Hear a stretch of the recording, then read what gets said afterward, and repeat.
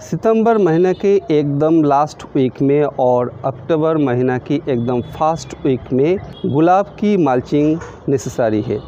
आने वाले ठंडाई के टाइम बहुत सारे गुलाब के लिए अभी माल्चिंग बहुत ही महत्वपूर्ण है।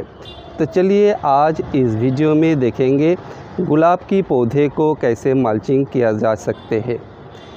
Hi friends welcome to plant care मैं हूँ आपका गार्डनर दोस्त विप्लव। रोज़ प्लांट की माल्चिंग बहुत ही इंपॉर्टेंट है।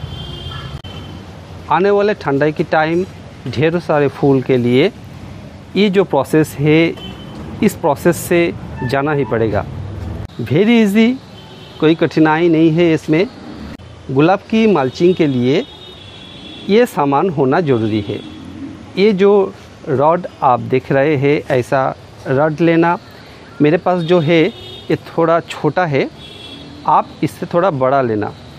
एक तरफ़ ऐसा शार्प होना चाहिए। आपकी पौधा जिस मीडिया में है, सिंडर में है और मिट्टी में है, कोई फ़र्क नहीं है। दोनों की प्रोसेस सेम ही है। पट की एकदम किनारे से धीरे धीरे मीडिया को ऐसा निकाल लेना है और ध्यान देना है रूट की डैमेज ज़्यादा नहीं हो। पट की ऊपर से कम से कम दो से ढाई इंच तक ऐसा खाली कर लेना है।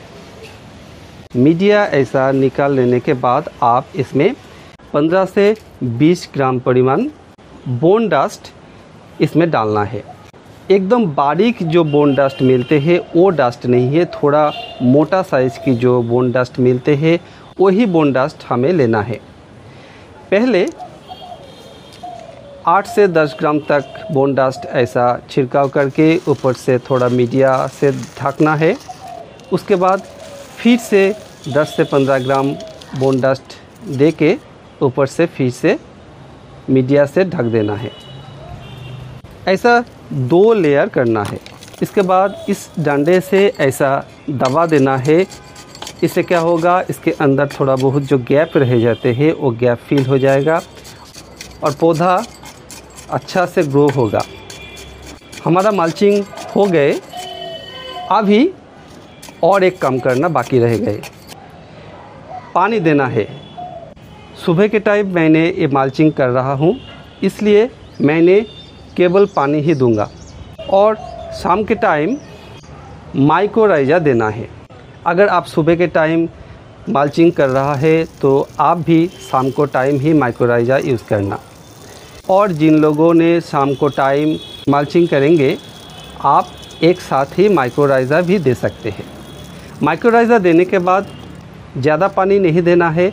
ज़्यादा पानी देने से माइक्रोराइज़ा पट के नीचे से बाहर आ जाएगा और नुकसान हो जाएगा। इसलिए इतना ही पानी देना है जितना पानी पट के अंदर रह सकते हैं। बस हमारा माल्चिंग की काम कंप्लीट हो गए। आने वाले ठंडाई के टाइम आशा रखता हूँ बहुत सारे फूल देने के लिए हमारा मल्चिंग बहुत ही लाभदायक होगा।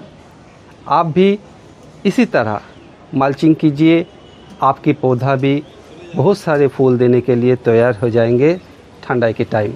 सो so फ्रेंड्स जिन जिन बातों को ध्यान देना चाहिए और जिस प्रोसेस से हमें मल्चिंग करना चाहिए गुलाब पौधे को, इस वीडियो में जानकारी देने की कोशिश किया।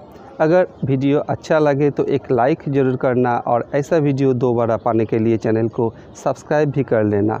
आप भी आपका पौधे के तरह खुश रहिए, स्वस्थ रहिए। धन्यवाद।